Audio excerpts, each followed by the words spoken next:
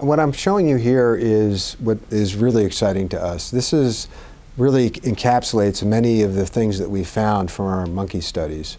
But most importantly, what you see in color are the brain regions that are overactive in individuals that are at risk for the later development of anxiety and depression. And this is in young monkeys.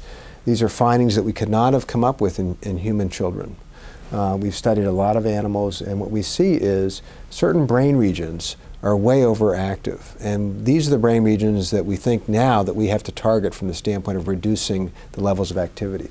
Let me point out just a few of them to you, because this is really critical. Up here, as you see this brain rotating, this is the back of the brain, and here we come around to the front. This part is the frontal cortex, and this is what's critical in primate brains. Um, right here in the dark red and yellow color is the region called the temporal lobe or the amygdala. And we think that the frontal cortex is talking to these regions, and this is what relates to this high level of anxiety. Now, what's critical here is that uh, primates, monkeys and humans, have a very well developed prefrontal cortex, but other species don't. And that's why the monkey is such an important uh, species to use for these studies. We cannot do this kind of imaging with children at this age. In addition, what we're looking at here is we're looking at how metabolically active the brain is. And that requires using um, some radioactivity that we would use in adults, but we generally don't like to use that in human children, but we can use this in animals. It doesn't hurt the animals, but it's just it's an issue of exposure to levels of radioactivity.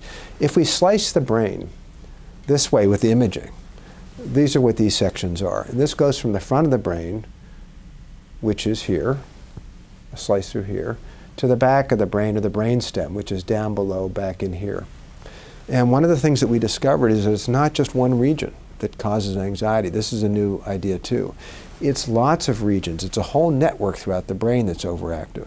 And furthermore, we've now begun to understand how these different brain regions are relating to each other so that they're all talking to each other, and we think that the way that they're connected to each other is critical. Now, the next question is to understand how mild to moderate adversity influences this circuitry we believe that mild adversity will make this circuitry more active, even further overactive.